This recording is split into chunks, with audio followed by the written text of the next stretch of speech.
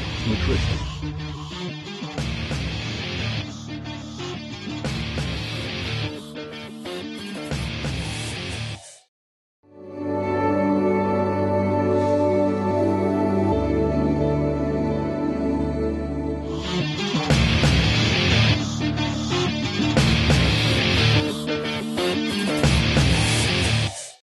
Presne pred týždňom sme zverejnili na našej webovej stránke aktuálne fotografie e, Milana Šátka.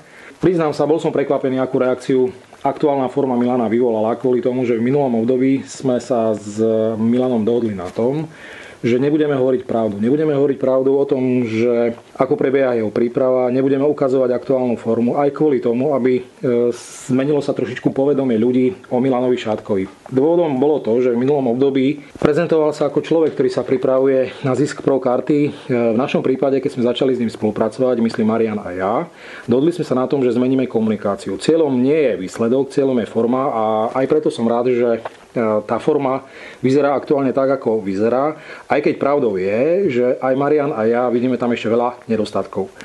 Milana mám aktuálne na telefónnej linke. Milan, ahoj. Ahoj, ahoj. No, absolvoval si v sobotu stretnutie s Marianom, ja výsledok viem. Čo povedal Marian na teba? Prezrať. No tak jako, jako vždycky schytil jsem, schytil jsem kritiku, protože Marian samozřejmě vždycky řekne, co je špatně.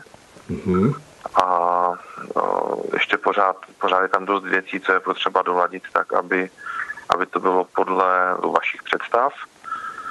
No takže já víceméně už jsem tak zvyklý, že chválu téměř slyším žádnou, vždycky kritiku a myslím si, že je to správný přístup, protože vždycky potom jedu domů z Bratislavy a říkám si, ty, to jsem na tom ještě, myslel jsem si, že je to dobrý, jsem na tom pořád ještě špatně a nutí mě to, nutí mě to víc, nebo víc makat. Makám tak, jak mám, ale, ale jsem pořád takový, jako že vidím, i když se potom na sebe podívu, tak vidím ty nedostatky, co mi Marian vyčte a snažím se to, snažím se to o to víc ještě dohnat, abych vlastně vás nesklamal, protože se, jsem se svěřil vám do, do rukou s tím, že uh, budu, budu dělat to, co mi řeknete, že zkusím přípravu podle vás. Vymysleli jste to, vymysleli jste to, myslím si, velmi dobře. Takhle jsem ještě nikdy nevypadal a věřím, že, že to bude ještě lepší a teďka momentálně mě čeká poslední týden do soutěže a ještě musím doladit tady ty, ty nedostatky, kterých, jak, jak říká, že ještě, ještě spousta. No úprimne, ja som ťa videl na Mozolani Klasik, myslím, že tiež som ťa veľmi nechválil, tak? Uh-huh.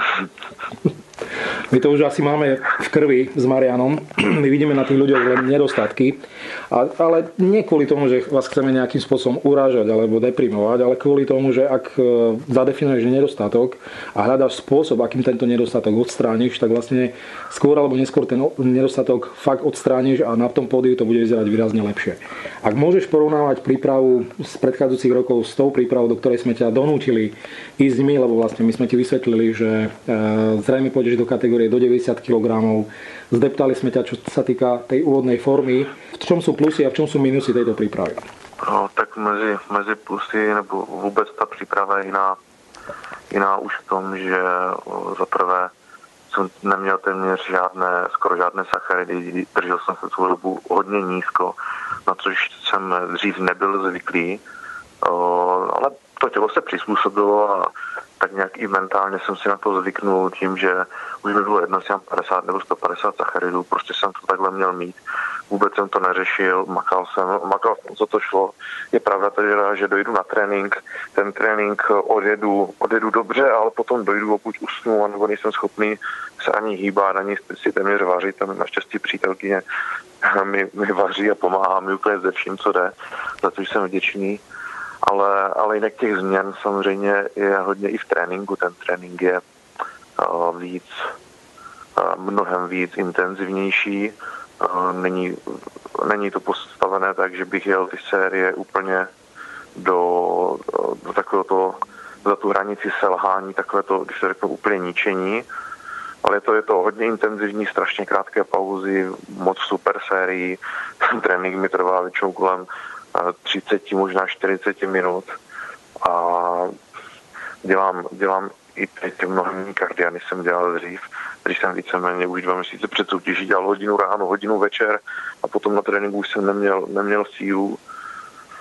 No a to je pro mě určitě ještě velká změna, je, že jsem neměl vůbec hovězí maso, co se týče jídelníčku a měl jsem tam jenom kuřecí a tresku, teď už mám jenom tresku a jak říkal, pozitiva, negativa, tak negativum je asi jenom ta treska, kterou opravdu nesnáším, smrdí z toho celý barák a, a je strašně, no, já nemám rád ryby, já jsem nikdy neměl rád ryby, jediná ryba, co mám rád je losos. A teďka jim tu tresku, ale opět jsem se na to nějak přizpůsobil, prostě jiju s ním a nestěžuju si takhle, že bych o tom furt mluvil, prostě i s ním a, a a dál to, dál to neřeším. Mm-hmm. Bolo pre teba veľkým minusom to, že sme ťa v úvodzovkách donútili uh, prezentovať sa ako človeka, ktorému sa v podstate nedarí pod našim vedením. Uh, musel si zverejňovať staré fotografie, v podstate si tam niekoľkokrát napísal na facebookovej stránke, že zrejme to zabalíš uh, s prípravou. V porovnaní s minulosťou bola to asi zrejme veľká zmena. Bolo to negatívne alebo pozitívne z tvojho pohľadu? No, celkově tady tá príprava, sme začali tak já jsem vlastně na tom byl hodně špatně, co se týče formy.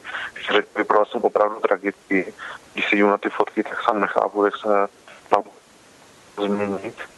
A přesně jak říkáš, no, nedávali jsme aktuální fotky, ale ty, ty starší a že se nedaří, to byla i částečně pravda, protože ze začátku, eh, i když jsme makali, tak eh, sice forma postupovala, ale měl jsem spoustu komplikací, byl jsem nachlazený, pak na mě sešla nějaká nemoc, pak jsem se stěhoval, opak se zase něco dělo, bylo to nějaké další rodinné problémy, bylo toho, bylo toho spoustu, ale teďka asi ten měsíc, měsíc zpátky to všechno přestalo, žádný stres už nemám, teďka jsem na tom perfektně, co se týče tady toho zázemí a docela mi vyhovovalo tady to, že jsme neukazovali ty aktuální fotky, protože ty reakce lidí, i když jsme tam dali fotku, kde jsem vypadal prostě strašně, tak uh, jsem viděl, že někteří lidi neobjektivně mě budou uh, chválit a um, to, že mi tam se někteří, že vypadám strašně, tak jsem to nedal, na to moc nedal, protože jsem věděl, že vypadám strašně na těch fotkách.